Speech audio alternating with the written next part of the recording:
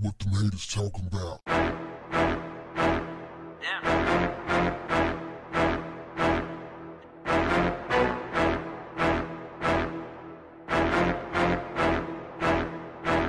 What's up, family? Starbucks is reacting to a run of bad publicity that started with racist employees calling the cops on two black men in Philadelphia by making radical changes to their policies. Check this out. Now, every Starbucks location will allow people to hang out if they want to without buying anything. Also, bathroom gate, no more. If you want to use the restroom at Starbucks, you can go in there and use it free of charge. You don't have to buy anything. You don't have to be a customer at all. You can just go in there, take care of your business, come out. The new policy is something they'll be able to discuss with their employees on May 29th when they close all 8,000 plus stores for racial bias training. Translation Starbucks employees will no longer call the cops on black people for doing what white people always do at Starbucks.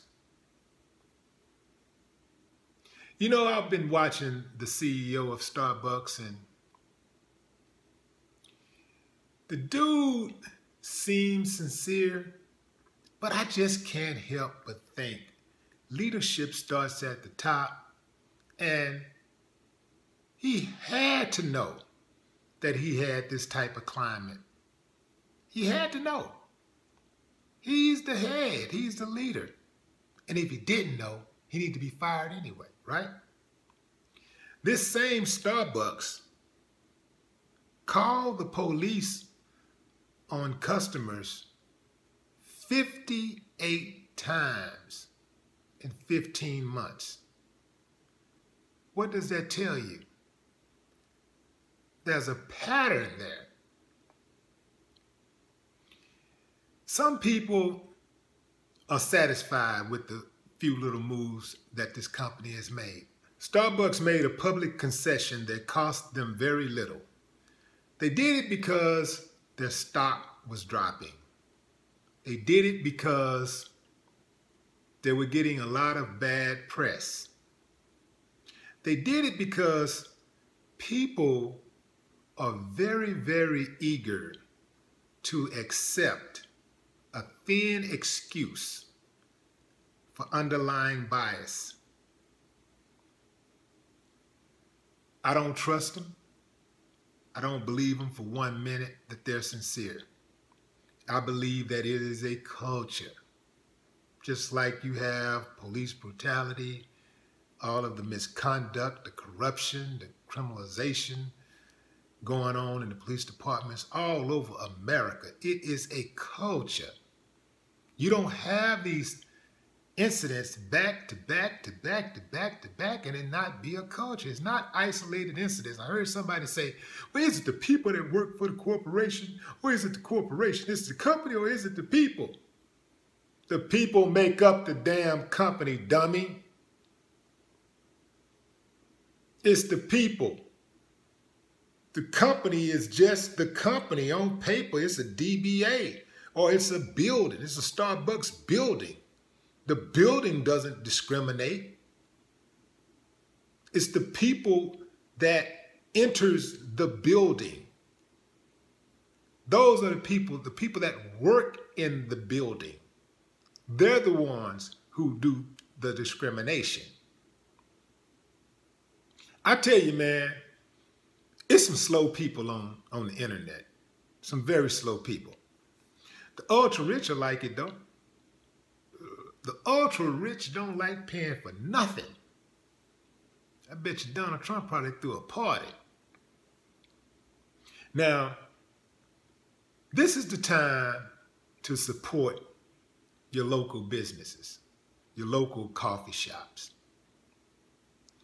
This is the time to, if you're one of those people who are always saying, yeah, we need to pool our resources and we need to shop with black people. We need to support some of these black coffee shops. Hey man, now is the time to support the black coffee shops. And I'm not just talking about black folks. I saw a whole lot of white folks out there boycotting. Mexicans too. So let's have it. Let's look at that concept. Let's let's let's visit that. Because black folks spend money with everybody. Don't even think about it. Spend the money unconsciously, just be spending that money. With everybody. Whites, Latinos, Asians, whatever. They just spend that money, man. They don't give a damn if you got the service that they're looking for. They just go in and buy. So it's time for y'all to do the same thing.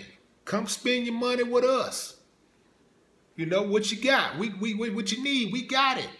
Come spend your money with the black folks like the black folks spend the money with y'all. Anything you want, any kind of service that you need, we got it covered.